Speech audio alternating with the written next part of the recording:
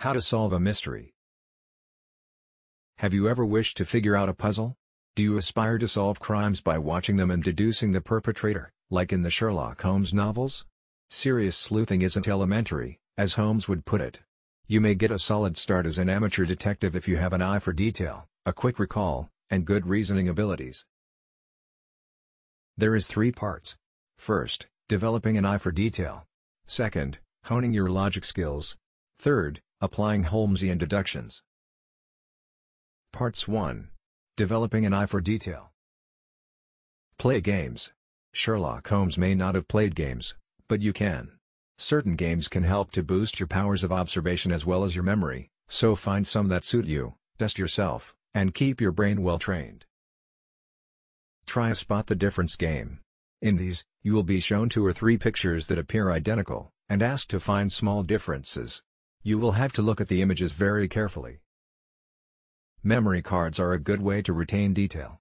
You will have a set of cards face down in front of you and each turn will turn two over, trying to find matches.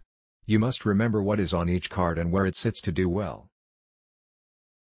In this my YouTube channel you can find this games which help to improve your brain.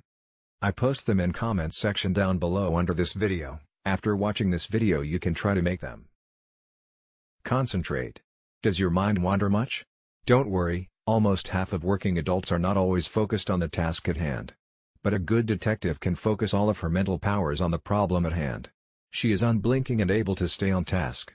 To have a good eye for detail, you'll need to increase your concentration.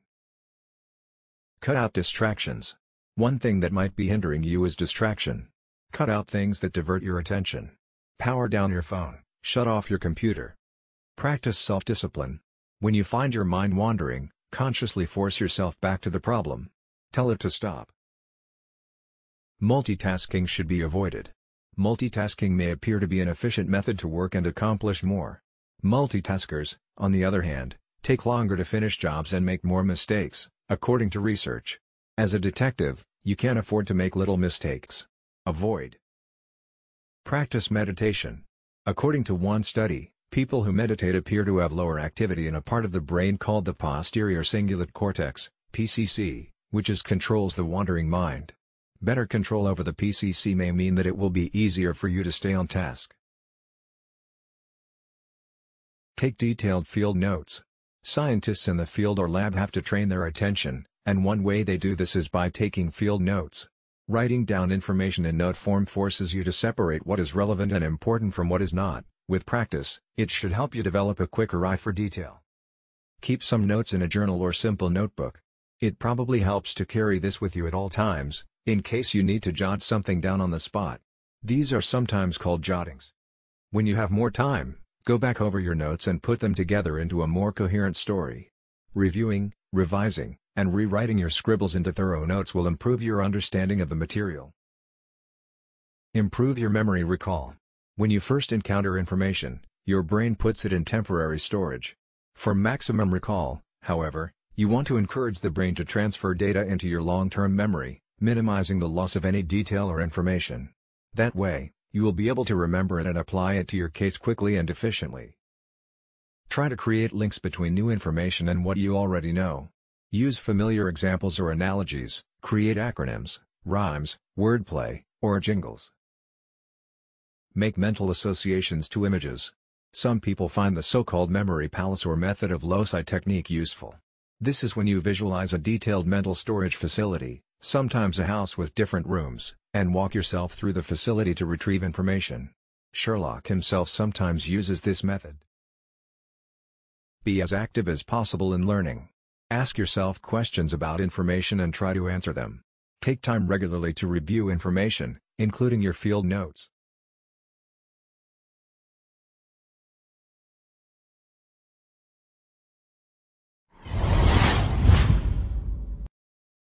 Part 2 Honing Your Logic Skills. Read up on logic. Sleuthing depends on the ability of the detective to make inferences, or in other words, to look at a series of events and make a conclusion based on reason. Logic will help you to do this and to judge the validity of arguments and conclusions. Think of it as training yourself to think more rigorously. A basic argument in logic has premises and a conclusion. Premises are reasons or support for a conclusion. An argument must be both valid and sound to be true. Valid means that the argument has a good structure and sound means that it is both valid and based on true premises. Take this famous argument, Socrates is a man. All men are mortal.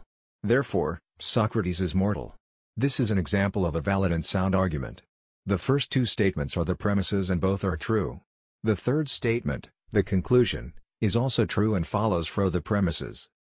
Consider another, Socrates is a man. Socrates is mortal. Therefore, all men eat cereal. This is an example of an invalid argument. The premises are true, but the conclusion is not related to them. One more, all cats can fly. Socrates is a cat. Therefore, Socrates can fly.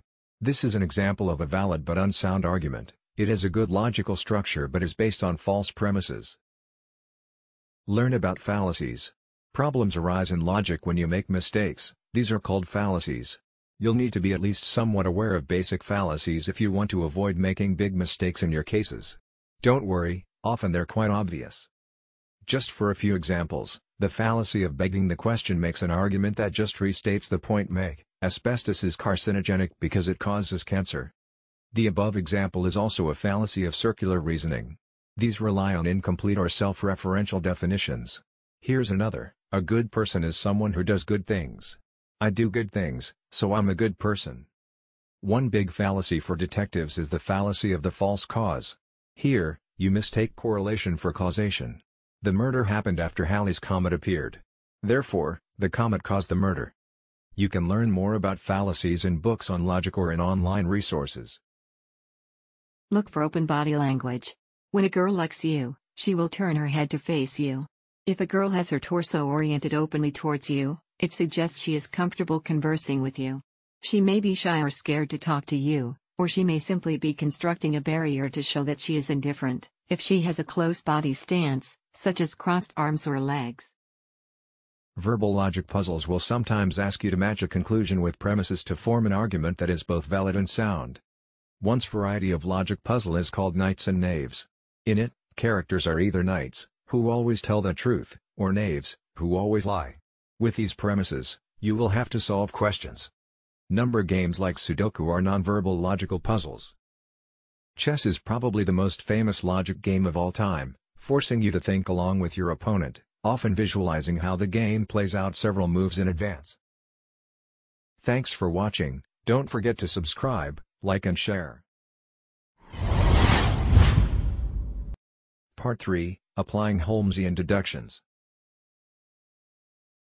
Find an appropriate mystery. Now that you have a good eye for detail and have mastered the art of logic, you're ready to begin your sleuthing career. Grab your hat and let's go solve some mysteries. You don't necessarily need to solve crimes to practice your detective work. Actually, frequenting crime scenes is a bad idea. It may not be safe and could anger local police. Smaller mysteries are a better place to start. Ask your friends and family if they have any mysteries.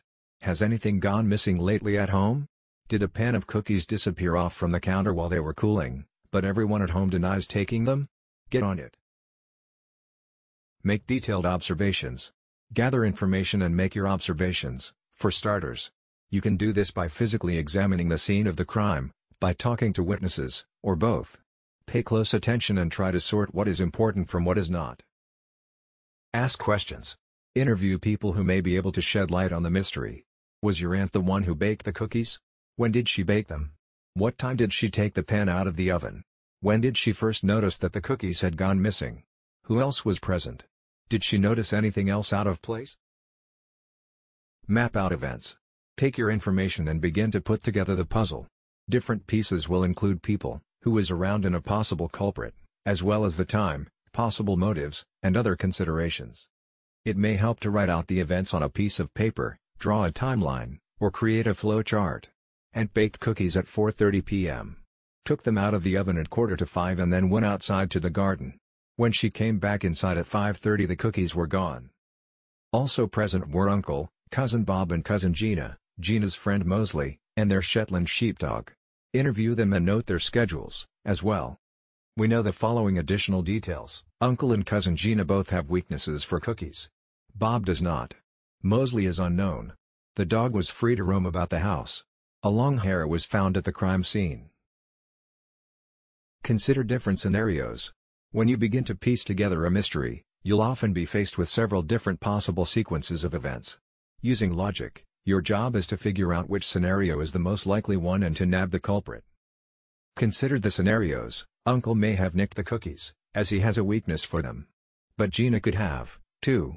Bob is less likely to have stolen them, as he prefers candy. Mosley and the dog are unknowns, but either of them may have eaten the cookies. Or, Aunt may be lying. Apply logic. Map the scenarios. Assess and reassess the evidence.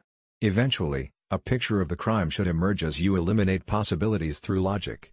You may not get the correct answer, but you should be able to discover the most likely scenario. A key piece of evidence, in this case, is the long hair found on top of the baking sheet. It is your only piece of physical evidence. The perpetrator must have had long hair. Uncle is bald, while Bob and Mosley have short hair. And, Gina, and the dog all have long hair. With this in mind, your likely perpetrators are whittled down to three. You'll need to look closer, and to focus your attention on the physical evidence, the hair, its color, texture, and length, to find the true culprit. Congratulations, you passed all the parts of how to solve a mystery.